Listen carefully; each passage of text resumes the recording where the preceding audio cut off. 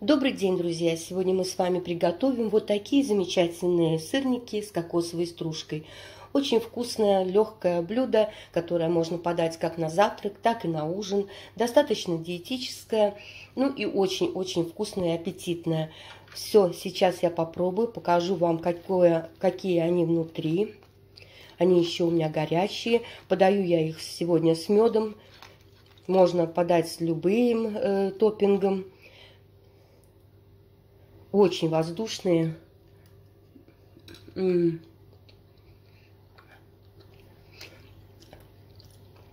Они замечательные. Все, пойдем готовить.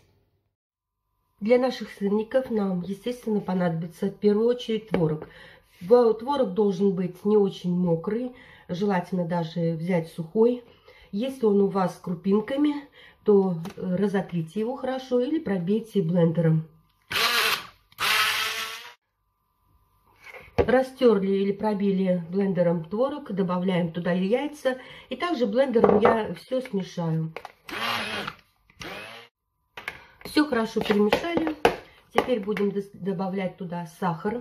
Сахар можно добавлять чуть больше, чуть меньше, но учтите, если вы много очень сыпете сахара, то ваш э, творог станет жиже, поэтому сильно не переусердствуйте. Туда же мы добавим немного ванильного сахара. Ванильный сахар тоже кладите по своему вкусу. Все хорошо еще тоже перемешиваем. Добавим туда разрыхлитель. Разрыхлитель я беру где-то пол чайной ложки.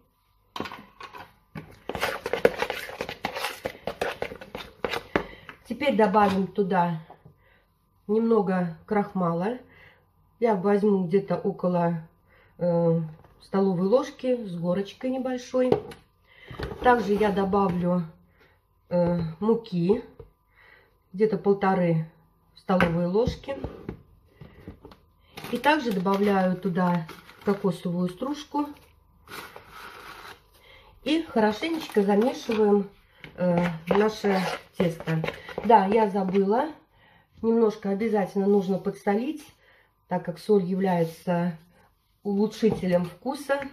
Все перемешиваем, у нас должно получиться довольно-таки плотное, такое э, хорошо э, лепящееся э, тесто. Все перемешиваем. Замесили наше творожное тесто. Вот такое оно примерно у нас получается. Довольно-таки крутое. Сильной мукой не забивайте. Чем суше у вас будет творог, тем лучше. Поэтому э, делаем тесто. Теперь подготавливаем панировку.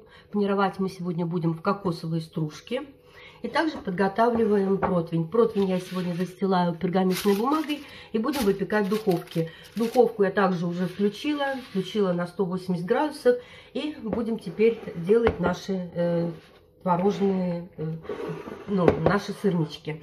Так, я взяла немного растительного масла. Я буду смазывать слегка руки, чтобы было бы легче э, лепить, чтобы наше тесто не прилипало к рукам. Берем небольшой э, комочек теста, где-то грамм, может быть, 60-70, это уже на ваше усмотрение. Делаем вот такую небольшую лепешечку, обваливаем в стружке и выкладываем на противень. Так делаем все сырники. Сформировали сырники, и у нас духовка разогрелась. Ставим духовку, э, как я говорила, на 180 градусов, где-то на минут 40. Или следите за своей духовкой уже сами. Э, они должны, сырники, так немного зазолотиться и стать красивыми и очень аппетитными. Все, ставим духовку. У меня прошло 40 минут, мои сырники готовы. Сегодня я буду подавать их с медом. Моей семье нравятся сладкие. Э, вы можете подать с любым вашим э, любимым топпингом, э, с вареньем, с джемом, с, даже со сметаной. Или просто посыпать сахарной пудрой и кушать их так. Они очень-очень нежные, очень мягкие и очень вкусные. Всего приятного аппетита и до свидания.